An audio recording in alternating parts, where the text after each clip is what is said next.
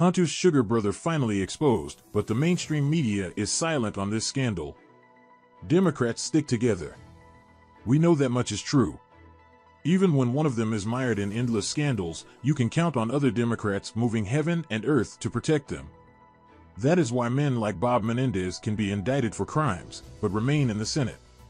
Or how a man as crooked as Hunter Biden can be protected by the DOJ or IRS. Hunter Biden has been exposed many times for shocking and unthinkable behaviors. Had he been a Republican president's son, his dad would have already been impeached by now. But Hunter keeps getting bailed out of trouble to protect his senile father Joe. Now we know Hunter has yet another powerful friend looking after him.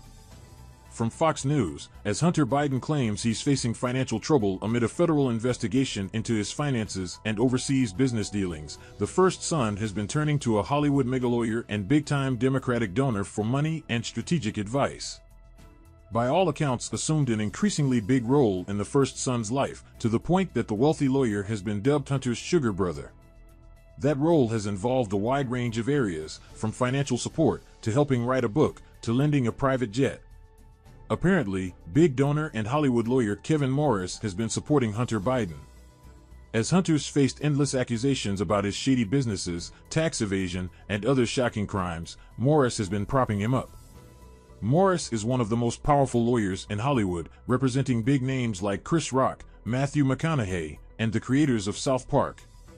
But he's also a big donor for the radical left, donating to Democrat candidates as well as the RINOs who voted to impeach Donald Trump. And, as it turns out, Morris has been bailing Hunter Biden out. He has given Hunter cash, helped him write his memoirs, and even lent him a private jet. So, Hunter Biden can allegedly break the law, have baby mamas galore, organize what could be illegal deals with foreign nations, and much worse. And get the help of a rich and powerful lawyer. And Democrats roll their eyes when we say America has a two-tier justice system. Hunter Biden can be videoed shooting somebody and the left will go to bat for him. When men like Kevin Morris are bankrolling you, you're immune to silly things like law and justice. But perhaps if more Americans demand justice over what this man's done, not even Morris can protect him.